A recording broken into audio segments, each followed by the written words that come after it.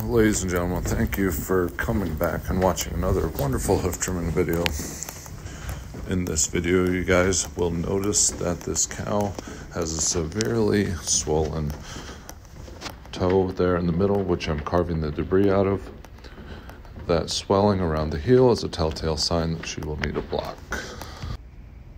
I took this video at a different angle, so I would hopefully be able to show you guys um, the heel depth of these cows.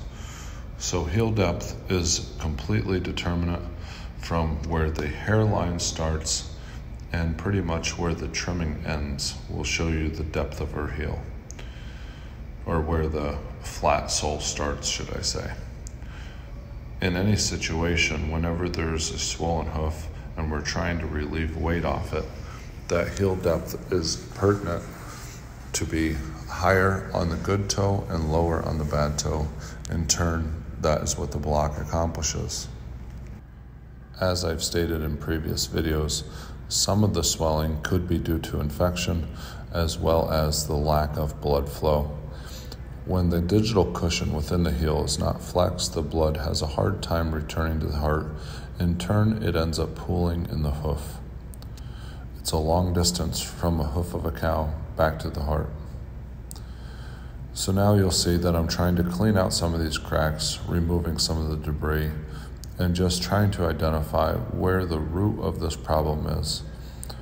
This is kind of a complicated issue because besides the swelling, there's that crack up top in the bulb of the heel, as well as some bruising and some cracking near the tip of the toe.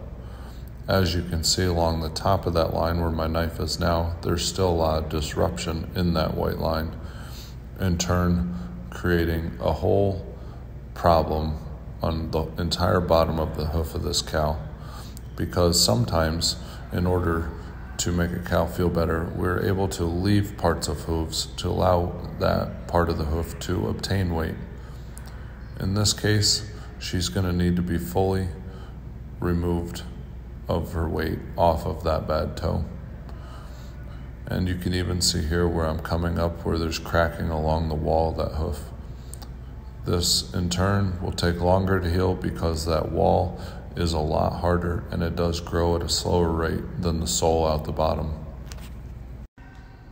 As you guys watch this video, keep in mind that this cow is close to her dry off period, which will actually allow her to rest that hoof. When they're milking, they go to a parlor and they stand to wait to get milked for a certain amount of time.